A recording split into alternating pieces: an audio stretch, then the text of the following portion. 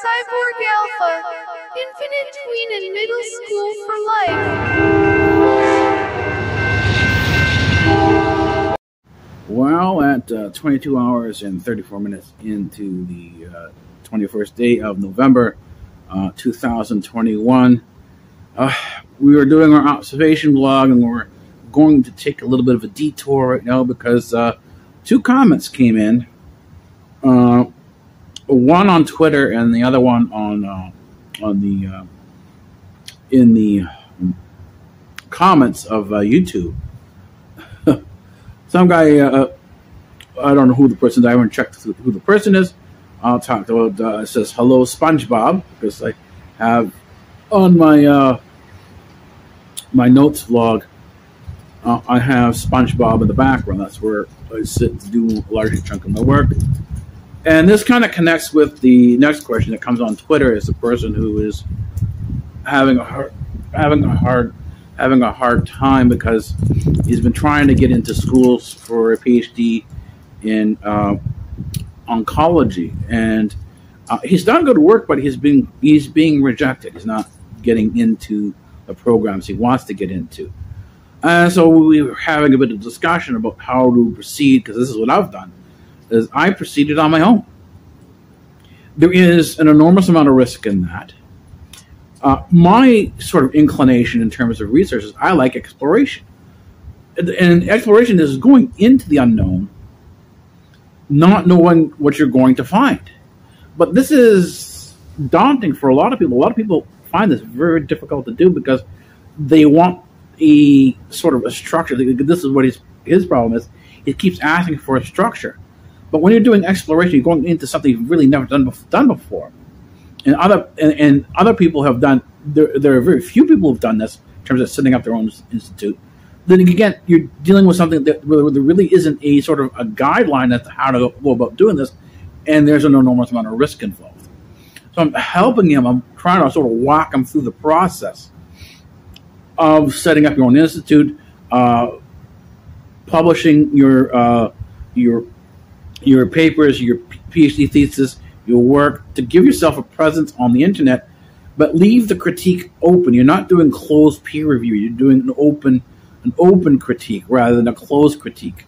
Uh, most people, in terms of when they're doing their uh, PhD process, will do a cro- closed critique of their PhD thesis.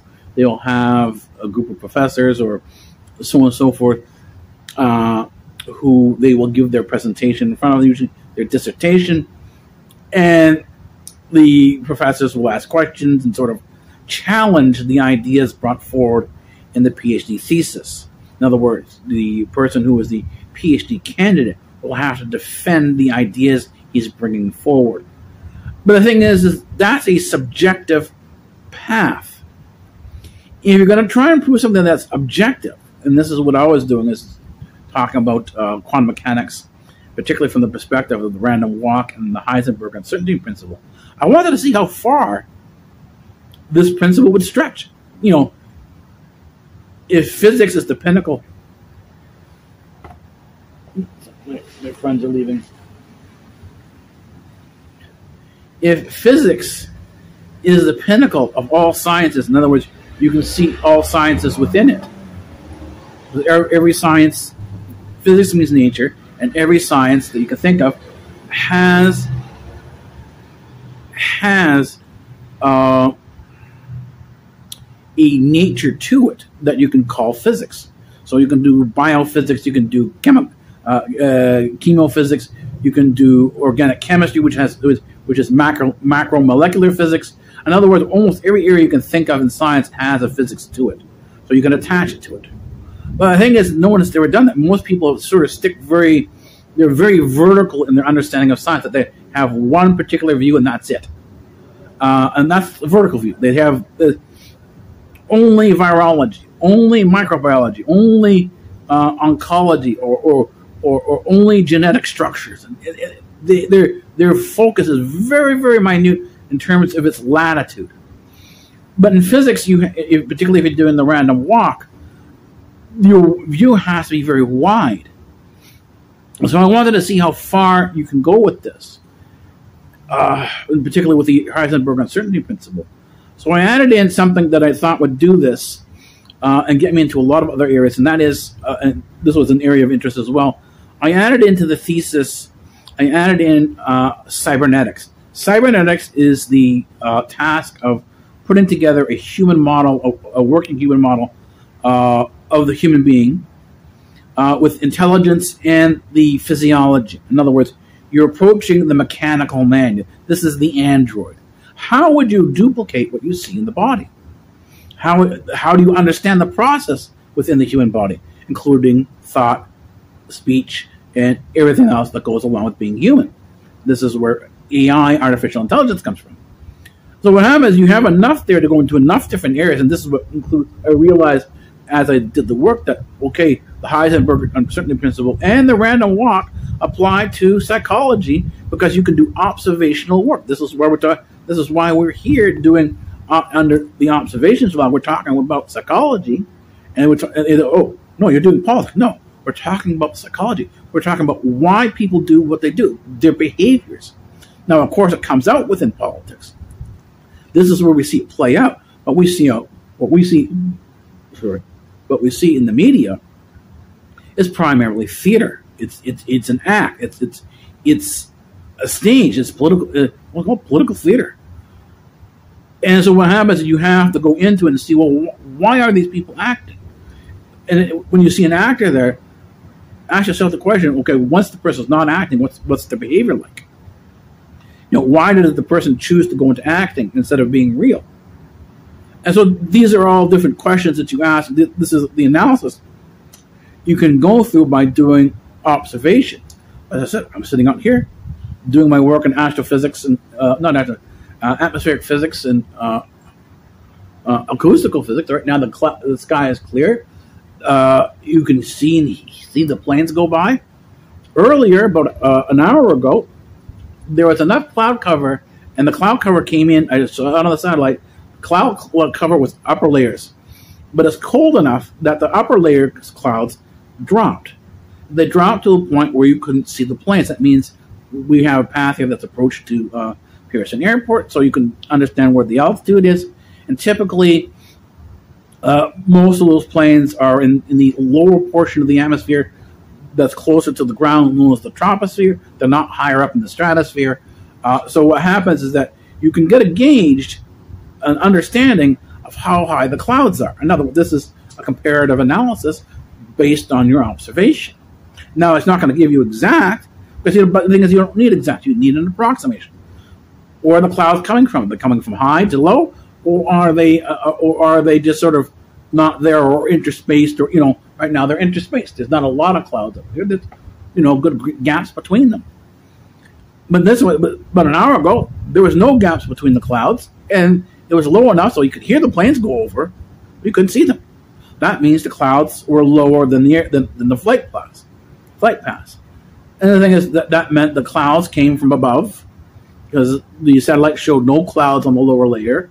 They came from above. They came from the, the second and third layer, and they dropped to the uh, into the lower layer. This is a, a, a, a the thermodynamics is basically your warmer layer, which sits on the bottom, particularly during the daytime, will block the upper layers that are colder. However, at night, and this is why I watch it do the observation at night, the warmer layer dissipates, it, it, disappears. And as the, the warmer layer disappears, the upper layers, even though they're colder, will sink because you know cold air sinks. So they'll uh, remove remove the warm air, which is blocking everything, and now you have the two layers, which are which are colder, they'll sink. And that's what we saw. We saw the rain. We saw we saw, and rain is an indication that a system is cooling. Uh, this is and this is why you notice after a rain after a rainstorm, it's always cooler than before the rainstorm, unless of course another system comes in that brings in more humidity, more moisture, and you now start the process all over again. You have a high heat there, you have a high humidity, and then there's what people talk about the talk about humidity, and it will not wring out. The water will not wring out until enough cold air comes in that the, the, the cloud clouds can no longer hold the the, uh, the moisture and they drains out, and then once again you have a cooling uh, after the rain. This is the process we're talking about. But I've been out here, I've been doing this now for more than six years out here like this to get this level of understanding of understanding. This is how I know about the waveguides. Waveguides is acoustical physics. I know where the trains are coming from based on the waveguides. So to the left, behind me now, to the left, those are that's the western waveguide. To the right, over there to my right now is in front of me. That is the uh, eastern waveguide. And if you hear trains coming from there, typically uh, you, in terms of the engine, you know the train is westbound. However, there are tricks that occur that sometimes the train stop there, and you hear the west, the eastbound train, you hear the horns on the on the on the eastern waveguide, because the train is sitting there, and as it starts to go, it blasts its horn. We're getting ready to go, and you start hearing it as it moves along. Uh, so it comes up very loud here, and as it moves along, the sound of the horn gets softer and softer until it starts crossing the street. When it crosses the street, you hear a long blast for it, cover, for, for it to cross the street, and it gets to the other side. When the train is coming in the opposite direction, the bizarre thing is, if you're listening carefully enough, you can hear the horn from far off, and it's got an echo to it. Why? Because when the when the train is coming from the east section, where it's coming in and sounds its horn, there's a massive field. There's a massive open field there. And so what happens, the sound carries, and now instead of being in a narrow tight box, which is the waveguide, narrow tight box, that's the waveguide. That creates a lot of echo, and it actually amplifies the sound. However, when it's when you have a wide open space and you don't have that, just like an amphitheater, instead of having the narrow, sharp stuff, you have an echo to it. And you can hear it almost like it's like it's far off, but you can hear it coming towards you because it's getting louder as it as it comes toward you. The, the sound gets louder and louder. This is this is this is again observational, but it takes it takes a long time to get this information. So any research you do takes an enormous amount of time. And as I've been doing this for 30 years now, there have been ups, there have been downs. There's a lot of risk to this. There are times when I've almost lost everything I've ever had.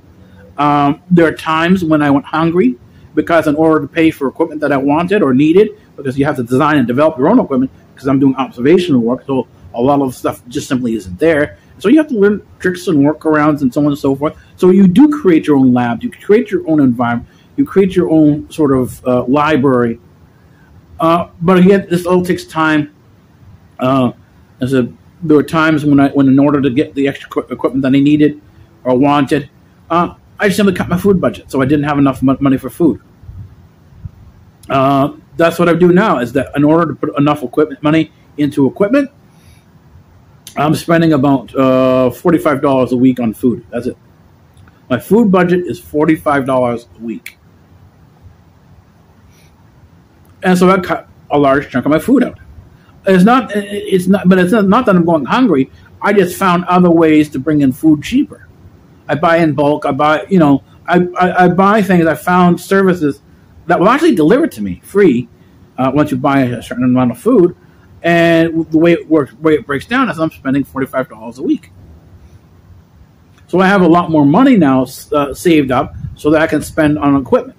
So I'll give it. I did eat out every once in a while, uh, and let's say now eating out. Let's say McDonald's. McDonald's will cost me twenty five dollars to deliver it to where I am, uh, and it lasts for one meal, and that's it. Uh, Mr. Sub, a sub, you order two subs uh, to get it the way you want it, and that costs you forty dollars. And it'll last you two meals so you're spending $20 a meal, you're saving $5 off of the McDonald's. Pizza is about $35, but it lasts you for five meals, so you're spending about $7 a meal uh, on pizza. Cutting that out, I can buy tablets for that amount. I can buy uh, extra phones I use as, as cameras for that amount. Uh, I've got mixers, small, tiny little mixers that I'm going to use for to, to sort of create a, a, cartoon. It allows me to change my voice. So I can do the different voices within the cartoon. Uh, easier than it would be if I, if I had to do it on my own. And so what happens, you, you, you have this opportunity now to do things that you normally wouldn't have done before. And eventually I'll be using it out here because the, I, I, the, the phones don't do justice to the sound out here. You can't hear the stuff properly. But if I add a mixer in here with a microphone that allows you to bring in the sound, then you're going to hear the sound a lot better. And that's the thing I'm working on now is to improve the sound out here so that you can also do an audio observation as well as the visual that you're doing now and my description of the visual. But it, it it's a daunting task. It, it, this is something that is. Am I the best scientist around? No. I'd pretty say I, I, I would say I'm mediocre. So what gets me to the position that I am, I am now? It's simply when everyone else or when every now everyone else would have quit by now, I'm still there. Still there plugging away. And I know that if I don't get it right away within a week to two weeks, that could be a month from now, two months from now, a couple years from now. I mean, one of the things been talking about now in the Gnosis vlog, uh, I've been studying this stuff for years, but I never really had a solid piece of evidence the way I have now. And it's a letter, it's actually an article written by a rabbi, and I'm leaving the rabbi's name out and I'll be eventually posting uh, the uh, pictures of the of, of the document. It's amazing, and it shows how the how you have the top-down elite system that I talked about before. You talk about the you have the elites, you have the uh, um, you have the vassal state, and below it you have the people. The vassal state hides what they call the shadow government. It hides it. And it does so because it gives enough incentive to the vassal state that instead of protecting, saying they're protecting the higher ups, the elites, they protect themselves because they don't want to lose what they have. Uh, so in, in the in the self interest that these people now have of the vassal state, they're willing to crush other people. This is why I say there's no racism because it's about classism. It's about the class class structure that you're in. The thing is, they use racism to create the conflict. And then what this document that I got is from a rabbinical source. And this is, if you want to understand this stuff, the best source is a rabbinical source. Judaic history is absolutely amazing. It explains a lot of what's going on today. Without it, you will not understand. Uh, and I'm talking about the shadow government. You will not understand a large chunk of what's going on. Socialism is is not a planned economy. Socialism is an is a social engineering concept. This is why they call themselves progressives. The progressive is the Hegelian dialectic. When you have thesis versus antithesis, you need to have a violent clash in order to produce the progress, which is synthesis. Synthesis, synth- synthesis is the result of a violent clash between thesis and antithesis. This is what I found in this document. It is, sits at the core of Judaica, and the, this core sits across the core of Roman Catholicism and Protestantism. It's also there in the Sunni. It's also there in Sunni Islam, and it's the belief that before God, there's God at the top, there's the elect few, the Illuminati, and then between there is chaos. That everything comes out of chaos. And when you die, you go back to chaos. There is no afterlife, there is no reality beyond that. This is it. Everyone melts back into chaos you have positive, negative, positive energy and negative energy. Everyone talk about everyone talk about crystal and positive energy and negative energy. This is what they're talking about, right? You see the gurus. Oh, we're going to help you feel better. We're going to align your chakras. What are they talking about? They're talking about positive energy and negative energy. This is there. This is the this is the end point. It is only when you get deeper into Hinduism, when you get into the uh, the original text called the Bhagavad Gita, also known as the Gita. Uh, Bhagavad Gita. Yeah, Bhagavad Gita, and they they shorten it just down to Gita. When you read that text there, you'll understand that the the chaos understanding is only there for, the, for those who are involved in reincarnation. The reincarnation are the average the average mass. They're the average people, including the uh, uh, the uh, the uh, vassal state. For those who are higher up, who, have gone down the right hand path or the positive path, for certain people who meet, reach it, reach the dharmic stage, they go to heaven.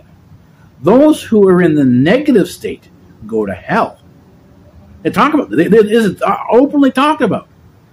And so what happens? Most people are actually taught about the middle part, the uh, uh, the karma, the karmic existence, the physical existence, because they feel it's too difficult for most people to do dharma, and they don't want to keep people. They don't want to have people go see too much about the negative path, the path of darkness, which ultimately, if you follow the karmic path, you will end up on the left-hand path. You will end up in darkness.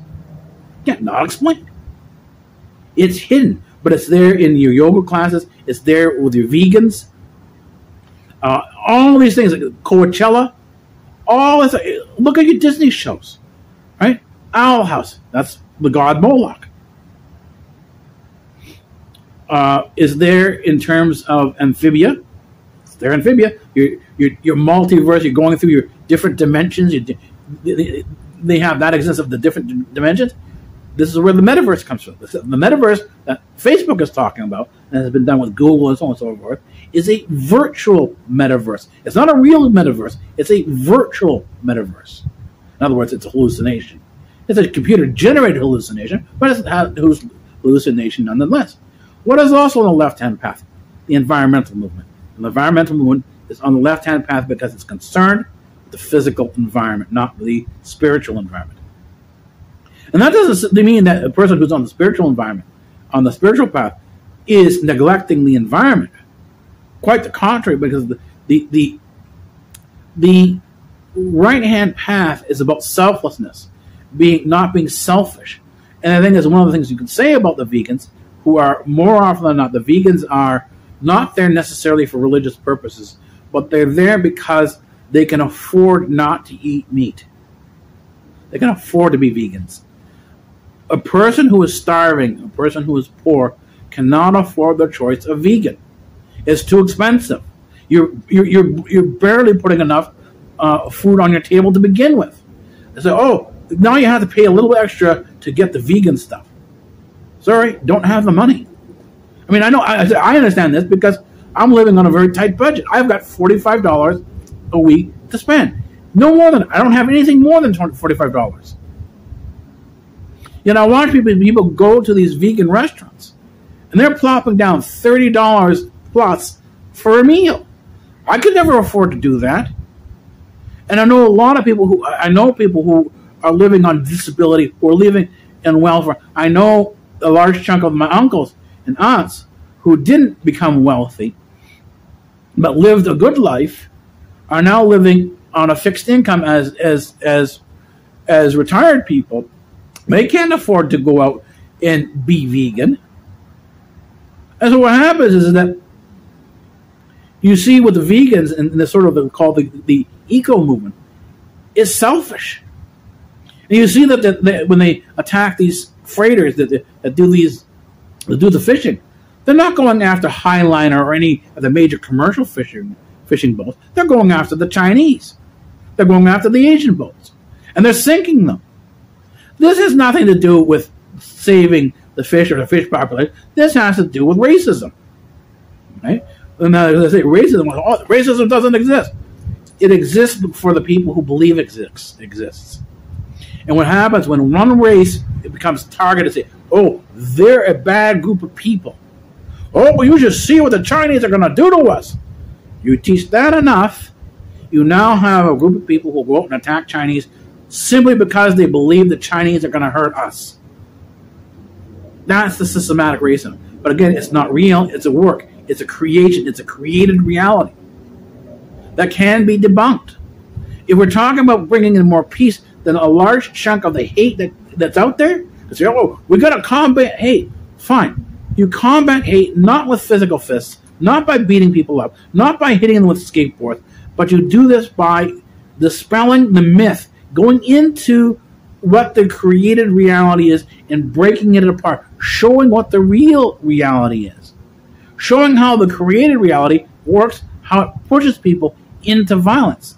So the anti you know, Antifa, Black Lives Matter, you want to be anti-establishment? Fine, good, good. Go ahead, do that. But understand that your violence is giving the state, the establishment, the, the vassal state, the hirelings, the argument they need to bring in more enforcement. In other words, you're giving them the reason to create the police state. This is what happened. This is what's happening in Australia. Why is the police state there? Because the people, the riots, gave them the argument to do this. Anyways, uh, I'm gonna leave this here. There's not gonna be a Gnosis vlog tonight. Uh, there's just too much to do. There's too much on my plate, and so I'm gonna leave this here. And uh, I will see you tomorrow night for once again for a um, observation vlog, and then afterwards the Gnosis vlog. We are Cyborg Alpha, Infinite Tween and Middle School for Life.